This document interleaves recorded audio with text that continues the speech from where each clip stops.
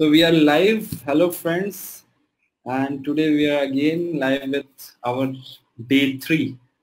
Next session which is creating long form content like blog posts which get read, read and shared.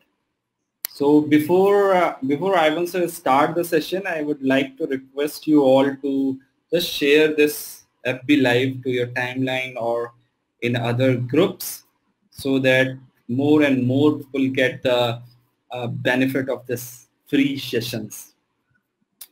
So sir, it's 3.59. We'll wait for one minute. I am cool. I'm cool. Usually when you tell me start, I'll share my screen. Yeah, yeah. So I think already five people have started. Guys, if you are able to hear us properly, then please mention this into the comment section.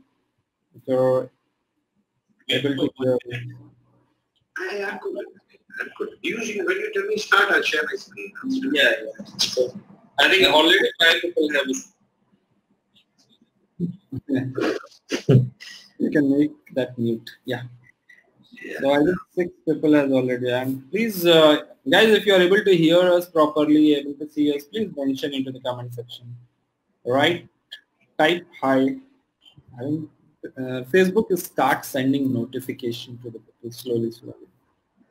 Yeah, I guess we've currently got uh, Ashish is in. Yes, he's saying he's saying that yeah, he can hear and see us. So it's 401. Sir, you can share and you can start. Okay, very cool. I'll just share my screen. Give me a Mahesh, second. Hi, hi Mahesh, Ashish. So yeah, people are started joining. So let me share yes. Okay, guys. Um, yeah, I think you are able to see. Just we will just get the confirmation. Guys, if Yeah. you are able to see the screen of Ivan sir. Yeah, uh, okay. I checked in mobile. It's shown. fair. Yeah, sir. You we can go ahead with the share. Okay. Now there are, you know, there are, there have there have been there have been any number of Facebook lives that have been conducted on uh, creating long form content. Now let me, I'd like to elaborate just a few, a few seconds on this term long form content. Normally, uh, normally there is a group of bloggers, me first, where we believe that if we create a blog post, it should be at least 1500 words, if not more. If you go on to some of the places where I blog, most of my blog posts are the how-to type. So I don't talk about the what or the why. I actually give uh, as much information as I can how to do something with screen grabs and an explanation and all. And these blog posts are almost always greater than 1500 words. So they are long blog, blog posts, which is why we call them long form content. Now, there are any number of people that have spoken about how to create long form content in blog posts. I'm not going to take that route today. I thought I'd take a slightly different route. I'd like to talk to whoever is participating in this Facebook Live about the concept of content curation. Very, very many bloggers, especially people like me who write damn long blog posts, there are times when you get into a, a mindset where you don't know what to write. You have no clue what the heck to write. Uh, when you don't know what to write, you get a block and that block could last for a couple of days until you unravel it. Now, how do you stay engaged with your people either on your blog post or in social shares at the time when you have a mental block? What I use is something called content curation and I'd like uh, all of you guys to understand that it's pretty simple, pretty easy. It's gathering relevant, high quality, value add content for your target audience on a specific topic of interest, usually with the attention of adding value. So as a blogger, I have to gather relevant, high quality value add content for my target audience. And this could be for different topics of interest. It could be for blogging. It could be for search engine optimization. It could be for content marketing, content curation, whatever whatever topic of interest I have at that time going on uh, that I've been blogging on or parallel topics that I'd like to talk about, I would go out and I would search for high quality value add content with the use with the intent of adding value to that. Now it's a three step process and it's pretty simple. You find this content, you curate it. Now curate it is where the person who is you know wanting to share that content with others is going to add value to it there's something that you're going to add to the content that you found and what that is we look at in a little while and then share it and you will share this on all your social streams now why we share it you know what the drivers are I'll, we'll take a look at in a minute or two so what do you do when you share when you curate content very, very importantly is you must add your voice to that content. Now, how do you do this? You take someone's content and you add your opinions about that content, whatever content you're sharing. It could be somebody else's blog post, something from Neil Patel, perhaps, something from uh, Joanna Wiebe, something from NEK on content, content creation, content marketing, headline creation tips. I don't really care you will share somebody's you you will share the link to that person's but you will also add your opinions you'll explain why that content you're sharing has added measurable value to you. So that people that trust you people that believe in you they understand why you're sharing that content. Especially the key takeaways that you obtained when you studied that content. When you do all of this, it's all part of building trust with your readers. Now, only when readers trust you, probably implicitly, implicitly, will they keep coming back for more and more. And as that trust builds, you're going to see sales will happen. So what's today's content delivery plan? 2020. Today's content delivery plan is not about creating epic new content every day. Now, there was a time when you sat down and you actually created, I simply wrote 1500 word blog posts almost every day, every two days.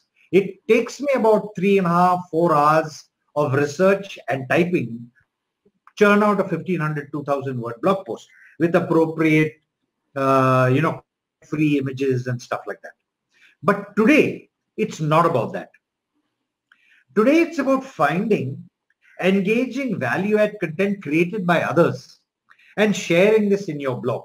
So you will actually create a blog post in your blog and you'll put, you know, you'll go and extract maybe the headline, maybe the first paragraph. Then underneath that first paragraph, you will write your opinion, why you consider that that content is worth sharing. What were your takeaways? What value you got from it? and you will add a URL and you will give full acknowledgement to the original content creator. Now, never ever be miserly. Someone else has created that content. Play the white man. Give that content creator total acknowledgement for the hard work that they've done in your blog post. But there must be a link that points to their blog post. Now, one of the questions that's thrown, thrown at me very, very often is, how do you, how do I find content to curate? For a newbie, this can be quite challenging. The simplest way to do it is go to Google and type in great places to curate content from. And Google will show you tons and tons and tons of places. Now, this could get, again, a little overwhelming for a newbie when you when it's getting a little overwhelming for a newbie, don't generalize. Don't say curate content from, but say great places to curate content creation from. Great places to curate blogging from. Great places to create curate SEO information from. Narrow down, become a little bit more specific. And again, you'll find tons of stuff but it will be more pointed to what it is that you need. Now, I have written a free ebook. It's a 24 page ebook. I've really taken trouble over these. Huh? So, uh, and I'm sharing it. I'm giving it away free. Uh, uh, which are the best places that I curate content from. Now, I don't curate one kind of content alone. I curate content across the digital marketing spectrum. So I could be curating content about social media marketing, social sharing, search engine optimization, search engine marketing, creating uh, a digital marketing strategy, executing the digital marketing strategy, tools for monitoring the digital marketing, and I curate all. I curate a heck of a lot of heck of a lot of content across all of these topics. And this, everybody who's attending this Facebook live session, you'll have taken a great deal of trouble to leave whatever you're doing and actually sit down and spend time and spend time with Anamitra and me during this live session. So I'm giving it away free to everyone who's attended this live session. You have to connect with Anamitra on Facebook Messenger and he'll give you the download link. And that could be a good place to your content curation exercises on. So what is the kind of content that pure pros curate and how do they do this? You know, they collect value add content like blog posts. You can look for other people writing blog posts on topics of your choice. And there are some real authority authority bloggers. Look at their blogs. You can look for how to type tutorials. You can look for educated, educative infographics. You can look for educative videos on YouTube. You can look for podcasts. You can look for interviews, specific interviews in podcasts, ebooks, white papers, evergreen webinars. A lot of the evergreen webinars on specific topics are given away free. You know, you can take those webinars and curate them and other such content. Now, what do you do with them? You categorize the content that you've created. If you remember when you when if you're using WordPress and you're publishing your blog post in WordPress, you can create different categories and under each category you can create a tutorial category, an infographics category, a video category, a podcast category. You can put all this content under different categories and share content about podcasts, videos, infographics from various authority figures. That's when your site visitors learn they don't have to search for all of this content themselves. You're delivering it to them. And this is a big thing, believe me. Now, how does content curation create value for the site owner? Now, I'm a blogger. I curate a lot of content. How the heck does it add value to me? Now, most site visitors have a limited amount of time. When they find everything that they need on your website, they'll become loyal, repeat visitors to your site.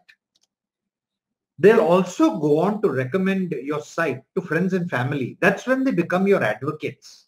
They tell their friends and family, you want to know anything about um, content marketing? go to Ivan's blog. If you want to know stuff about digital marketing strategies, go to Ivan's blog. Because Ivan doesn't write content only about himself. He's also sharing stuff from Joanna Wiebe, from Neil Patel, and he's choosing the stuff that he's sharing, which is really top class. Go to one place, you'll find every damn thing you need. And now others are actually driving people to your website for absolute, absolutely free. They know you're working hard at finding and delivering the best content to them. You're adding, adding measurable value to them. Every time they visit, they'll find something of value, something new, maybe a free download, a PDF, a checklist form, maybe like I said, Neil Patel, Joanna Wiebe, Henneke, all that's available on in your blog. And that is when a huge amount of trust builds between the site visitor now, if you're doing a bit of affiliate marketing or if you've got products and services that you're selling on your website, trust me, this is when sales actually begin to happen. Now, you can also curate content in newsletters. You know, emailed use newsletters, it's, is very popular. You can curate the latest content put it in a newsletter and it drives engagement. Curate content that adds measurable value to your mailing list and blog post readers. You know, you know them. You're intimate with them. So choose the kind of content that they want. Place this content in an attractively formatted newsletter. Now, most third-party email pro providers will give you will give you empty empty formats. All you've got to do is pick up the content and place it there and just bang it out to your mailing list. There's very little work that you will have to do. Now, another place is share it on social media. These are terrific places to share curated content. When you do, always hashtag the original creator when you're sharing the content. Tell them that you're sharing their content.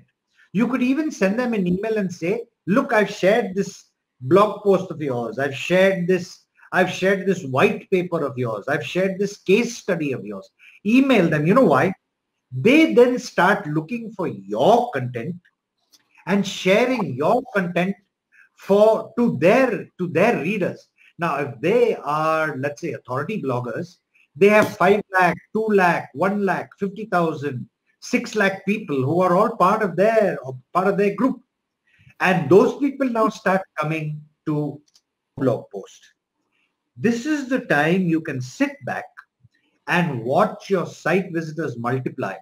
When your site visitors multiply, they find great content on your site, trust builds and sales happen.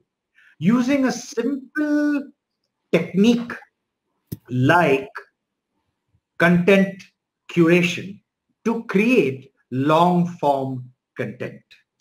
Now that brings us to the end of the pitch that I'm making.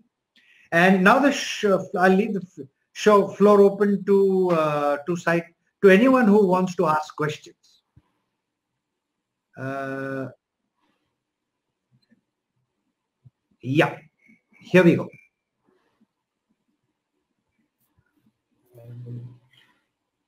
You can stop sharing if you want. Uh, I'd like to look uh, for those of you who see this.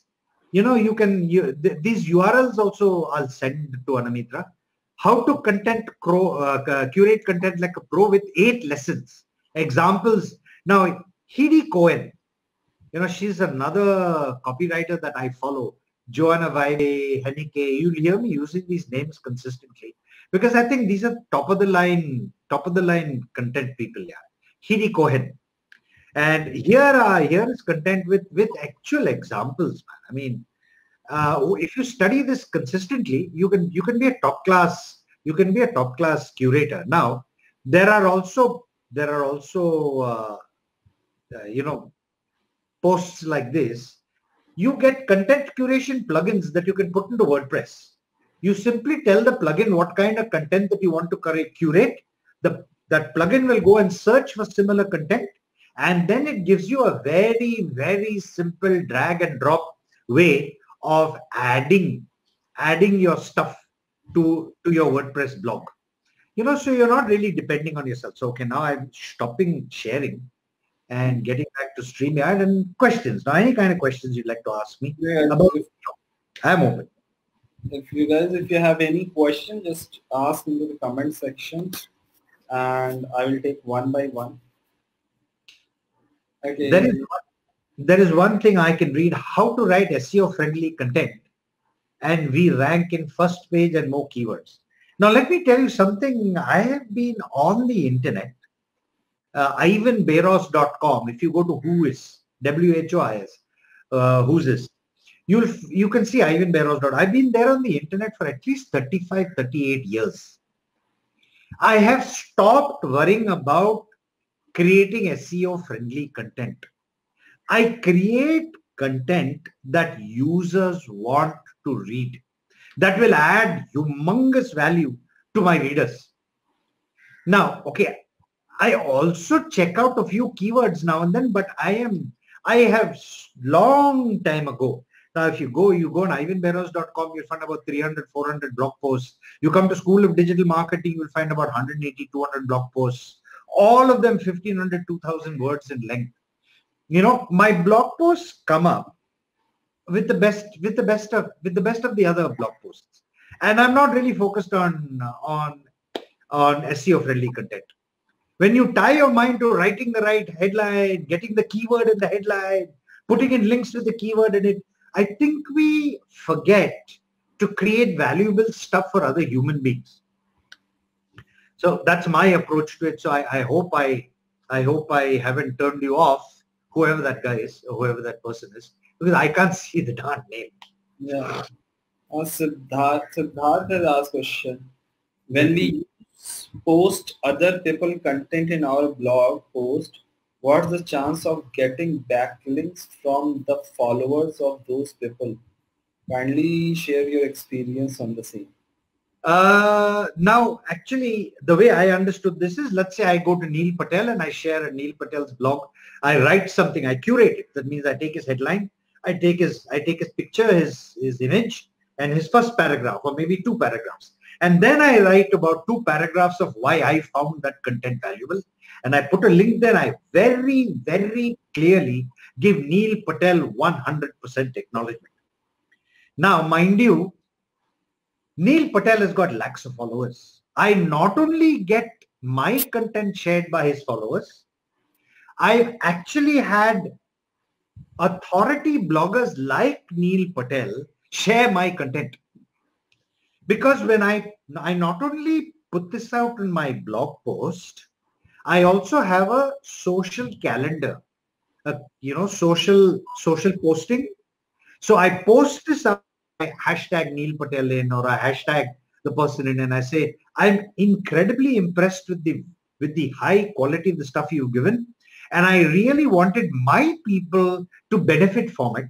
So I've curated your content and I put it in my, and I hashtag it in Facebook. I put it out in Twitter. I put it out in LinkedIn. I put it out in Instagram, Pinterest. And these guys actually, so I'm getting shares from the authority bloggers themselves. And I'm also getting shares from their followers. And that really is when people begin to notice you. Next question is Monish has asked, Hi, as a newbie in this field, will knowledge of writing content help in curation also? Well, you know, curation actually has to have your opinion about the curated content embedded. Now, if you take out that element, then you're not curating. You're just creating a link to somebody else's post you're not adding any value to the curated content that you put into your blog post. So unless you can write decently, grammatically correct. Now, let me tell you, I am dyslexic. I have been dyslexic. I did my MTech in the UK. I studied in Manchester.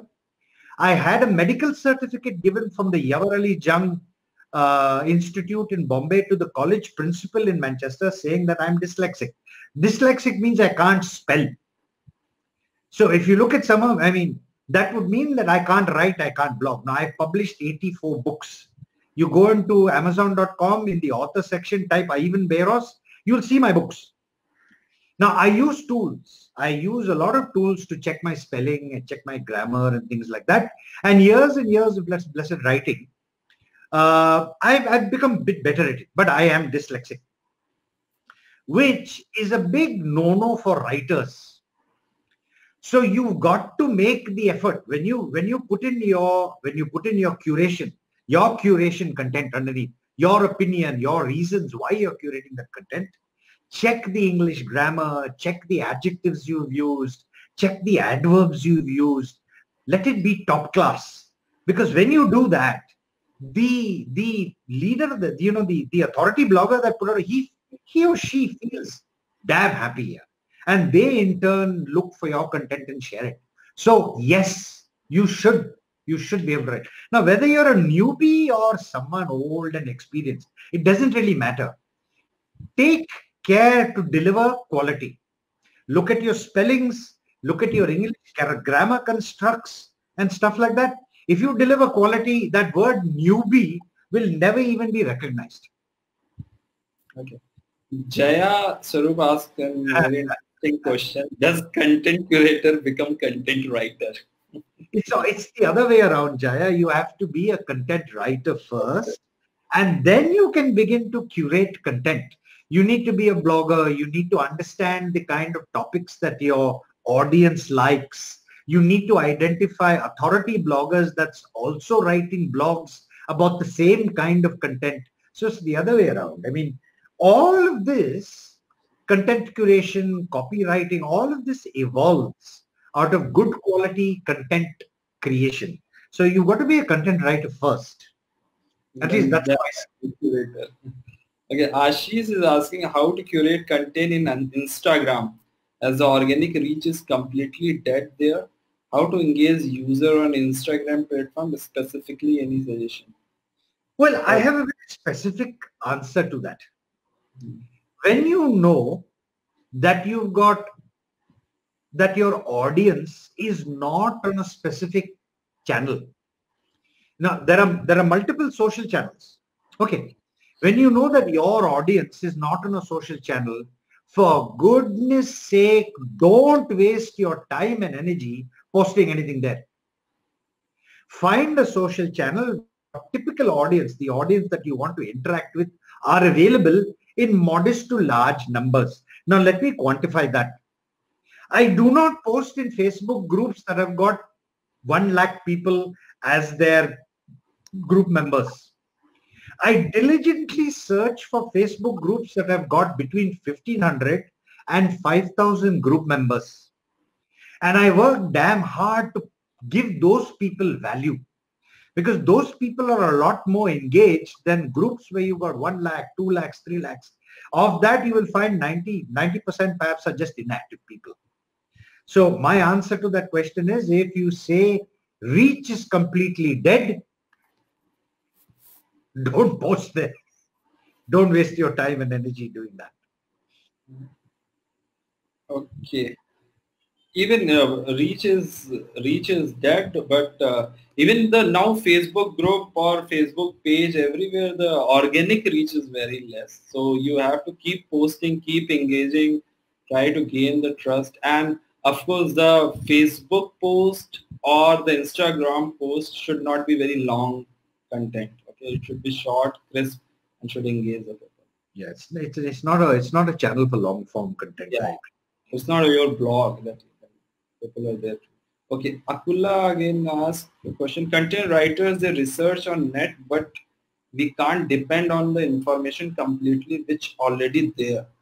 We should write unique and new things how can we write any subject which we don't have an idea the terminology? So there are three of the two, three, there are two, three, there are three different things that are asked in that one question. Let me take the first one. Content writers, they research in the net, but they can't depend on net information.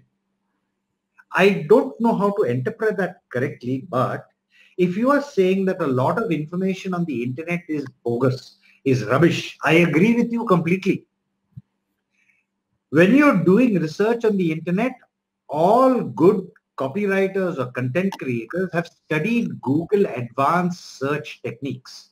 Now you can use Google advanced search techniques on Google. You can use it in Bing. You can use it in DuckDuckGo. You can use it in the meta search engines. Now, Google is not the only damn search engine. I mean, I search about four or five different search engines. And I also search meta search engine. But let's let's not get into that area. Now, when you use advanced search techniques like, uh, you know, some topic, let's say um, curate colon SEO, SEO. Now, when you separate your question colon something, uh, Google Google focuses on the colon and whatever you've written after the colon, and it'll start giving you far more accurate results so if you're not finding the right content, then my advice is learn to search and identify the right content. The second question is, we need to write unique and new things. Yes, you need to write unique and new things. Pick up a paragraph. This is how all copywriters and bloggers grew. I grew like that. I pick up a paragraph from Neil Patel, paste it in, paste it in Microsoft Word, and then sentence by sentence, I'd read the damn sentence and see how I can rewrite it in my own words. Now, if I can rewrite it in my own words, negative sentence, make them positive, positive sentence, make them negative, add adjectives, add adverbs and stuff like that, I am learning how to generate stuff, but I'm learning how to do it based on somebody else's vast experience. Now, after you've done that for about six months, one year, genuine practice, two hours a day, you'll be able to create the content, your own content very easily. Yeah.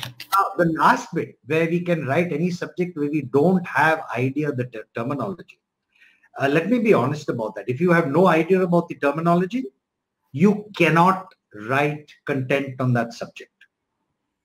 So unless you spend your time learning about that, learning the technology, learning the content that should be given to others, learning what kind of, there I use tools like uh, BuzzSumo. I'll type in the, you know, I'll type in what I want to find in BuzzSumo and say, tell me what is trending. I'll look at the number of people leaving comments because BuzzSumo not only will it show you, let's say the top 10 blog posts, it'll show you how many people have commented. It'll show you what the kind of comments are. It'll show you the keywords. So I learn from that. And once I've got that, then I create my terminology. Out of your head, you can't. Ashish is asking a question, sir. Do you feel content repurposing is a great way to make yourself known on all social platforms after we are done with curating content? Yes. Single straight upfront answer. Yes. All bloggers do it. And I do this extensively for my US clients. I repurpose content for the, those guys who are a little puzzled about the word repurposing. Okay. You write a 1500 page, 1500 word blog post. Okay. In that blog post, let us say you got five, one headline and five subheadlines. You can cut the headline, take a little bit of your first paragraph and pick up an entirely new image from somewhere, club it all together, post it on post it in Facebook with a link back to the original blog post. You can repeat this exercise for all the subheadlines. That means you take the subheadline, you take the paragraph immediately under that subheadline, you take a picture from somewhere else and again point back to the original blog post. Okay, pointing back to the same content, but the content that you're putting out Facebook is fresh. You can take that content and make a one minute video. You can take that content and put it into a tool. There are a lot of free tools. If you've got a 1500, 2000 word uh, blog post, they'll convert it to a PDF. You So you can convert your blog post to PDF, give it away as a freebie. So yes, man, repurposing content is something that digital marketers, uh, we live by it. I mean, to me, it's like having a bath, changing my clothes kind of thing. Make make a video, PPT, PDF, podcast, whatever you feel comfortable. Take your take your blog post, read it out slowly and nicely, and create a podcast. Publish it. Put it into app. They'll take it. Yeah. One more question from Ashish. Sir, do you feel Quora is a great platform to know what your customer pain points are and then creating a curated blog post around the question they are asking? Is that good strategy to create uh, create traffic generation for your blog pertaining to your niche? uh, one word answer. Yes. See, I, I don't know whether you realize it you've got a platform where you can figure out people's wants, needs, and pain very clearly. Okay, there's a lot of bullshit in, in bloody Quora, but when you start filtering, you, you can figure out wants, needs, and pain. Now you can take those wants, needs, and pain distilled into words and key them in, in keywords into, let's say, for example, BuzzSumo. BuzzSumo will give you the top 10 blog posts for those particular, those particular keywords. Now there are people in pain in Quora you can go to Quora and post links and say, go and read this blog post. You can create your own blog post and post your link and say, come and read from me.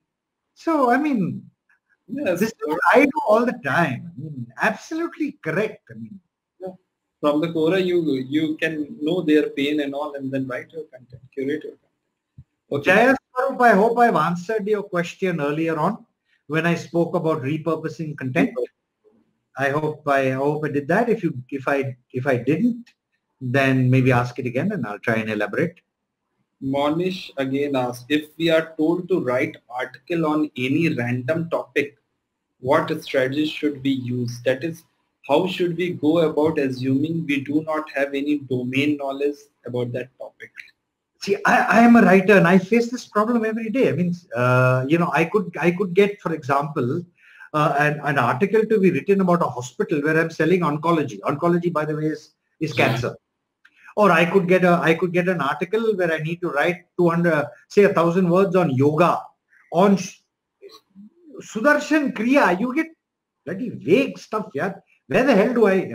So what I do is I use a tool like HubSpot, uh, or I'll use a tool like uh, BuzzSumo, something like this, and I'll go and key these keywords in, and I'll find out what other people are writing about it. And I will spend maybe two, three hours reading other people's material and identifying ideas, paragraphs. Remember, you know, when you put when you put words together and form a sentence, and when you club sentences together into a paragraph, you are actually selling, as a writer, you're actually selling an idea. Now, the really good copywriters will keep one idea in one paragraph so it's damn easy to figure out. And I copy paste all of that into a Word file. So I get what I call a swipe file. So I'll take the first three blogs on Sudarshan Kriya. I hope I'm pronouncing that thing correct. I'm not really sure of it. And when I've got that, I'll pick up what Neil Patel wrote about Sudarshan Kriya, what Henneke wrote about Sudarshan Kriya, what Anamitra wrote about Sudarshan Kriya, and I'll have this in my swipe file and I'll mix and match ideas first.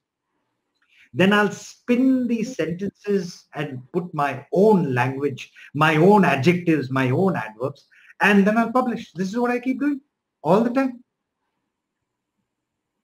Okay, I think this was the last question. Okay. yeah.